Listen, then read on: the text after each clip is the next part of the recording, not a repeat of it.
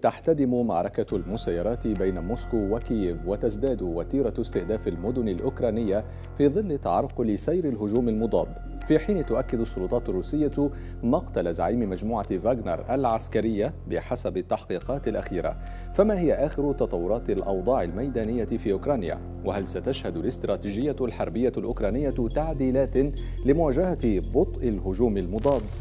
حملة ضربات جوية روسية جديدة بصواريخ وطائرات مسيرة على مراكز شمال أوكرانيا وفي وسط البلاد قرب عاصمتها كييف بعيدا عن خط المواجهة في شرق وجنوب البلاد. لكن أوكرانيا تقول إنها صدت هجمات عدة ولم تسجل أضرارا في البنية التحتية أو قتلى في تلك المناطق. في حين تؤكد روسيا استهداف قواتها الجوية مطارا في بلدة بنشوكي قرب العاصمة الأوكرانية كييف. كذلك تتخوف أوكرانيا من تصعيد روسي في البحر الأسود إذ نشرت موسكو 12 سفينة وغواصة في المنطقة محملة إياها بصواريخ كروز جاهزة للإطلاق وفق كييف. موسكو من جانبها تقول إنها أسقطت مسيرتين أوكرانيتين في منطقتي كورسك وبريانسك الحدوديتين وسقطت إحداها على مبنى بكورسك وألحقت أضرارا طفيفة وفق السلطات الروسية المحلية. من جانب آخر فإن نائب رئيس مجلس الأمن القومي الروسي والمقرب من الرئيس بوتين ديمتري ميدفيديف يشير إلى أن خصوم بلاده في الغرب يدفعون نحو حرب عالمية ثالثة متجاهلين الإشارات الصادرة عن موسكو بشأن أمنها القومي. وذهب بعيدا بالقول إن أوكرانيا قد تختفي من الخريطة السياسية للعالم نتيجة للصراع الحالي.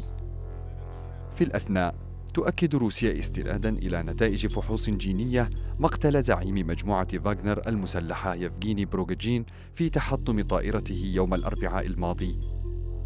ولم يرد التحقيق الذي نشرت جزءا منه السلطات الروسية أي معلومات عن أسباب تحطم الطائرة أثناء رحلة بروغجين من موسكو إلى سينت بيترسبورغ.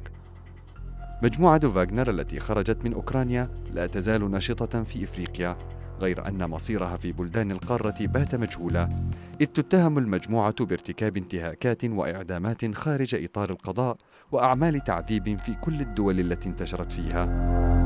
مصير مجموعة فاغنر لا يزال مجهولا فصدمة فقدان زعيمها لا يزال يخيم على مقاتليها وبين استيعابهم في مجموعات أخرى أو تعيين رئيس جديد لهم. يبقى الغموض يلف مصير واحدة من أكثر المجموعات العسكرية إثارة للجدل في العصر الراهن. هل يمكن أن تحسم المسيرات الحرب لمصلحة أي من الطرفين أم أن تأثيرها محدود؟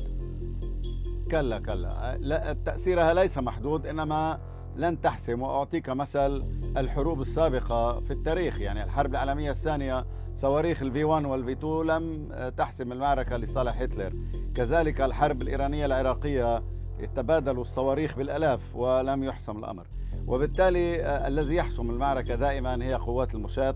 المسيرات تستعمل لدعمها. وأما آه، هذا الأمر بالنسبة للمسيرات الأوكرانيون تقدموا كثيرا في هذا المجال وخاصة المسيرات البحرية التي استعملوها بنجاح ضد قطع بحرية روسية. يعني قامت هذه القطع البحرية بتفجير هذه المسيرات البحرية على مسافات بين 100 و 300 متر ولكن ذلك لم يمنع من وقوع أضرار في آه، قطعتين بحريتين روسيتين عسكريتين واحدة منها آه، أرسلت إلى إلى الصيانة. يعني آه، البحر الأسود لم يعد تحت سيطرة البحرية الروسية. صحيفة الجارديان البريطانية آه، كشفت أن لقاء عقد قبل أيام بين ضباط كبار بريطانيين وكذلك ضباط كبار في حلف الناتو مع فاليري زالوجني قائد الجيش الأوكراني على الحدود البولندية الأوكرانية وذلك من أجل إعادة ضبط الاستراتيجية الأوكرانية في هذه الحرب ما الذي تتوقع في هذا السياق؟ نعم آه، هذا هذا الذي حصل هو يعني واضح أن الدعم الغربي لأوكرانيا لا يقتصر فقط على الذخائر والأسلحة والتدريب إنما أيضا على تبادل المعلومات المخابراتية وعلى أيضا يعني التقنيات الغربية الأقمار الصناعية وغيره. وقد لوحظ أن بطء الهجوم الأوكراني يعني في ثغرات هناك ثغرات في القيادة وهناك أيضا آليات ألمانية وأمريكية استولى عليها الروس يعني خلال هذه هذه المعارك. وبالتالي آه، هناك دائما وهذا ليس مستغربا على الإطلاق هناك دائما في أي عملية عسكرية من هذا النوع أو من غير نوع هناك دائما إعادة تقييم لأن الاستراتيجيات التي ترسم يعني مدة صلاحيتها هي بضعة أيام أو بضعة أسابيع لأن العدو له أيضا استراتيجية معاكسة. وبالتالي الخبراء الغربيون لا نعرف ماذا دار بينهم. وبين المسؤول الأوكراني ولكن من المؤكد أنهم يقدمون النصح والخدمات بناء لخبرتهم وبناء للمعلومات التي يستحصلون عليها من مصادر من يعني من مخابراتهم العسكرية والأقمار الصناعية وغيره. هذا لن يغير في الاستراتيجية الكبرى في أوكرانيا على الإطلاق لأن الإمكانيات معروفة لدى الجيش الأوكراني والجيش الروسي إنما هناك تصحيح في التكتيات وليس في الاستراتيجية.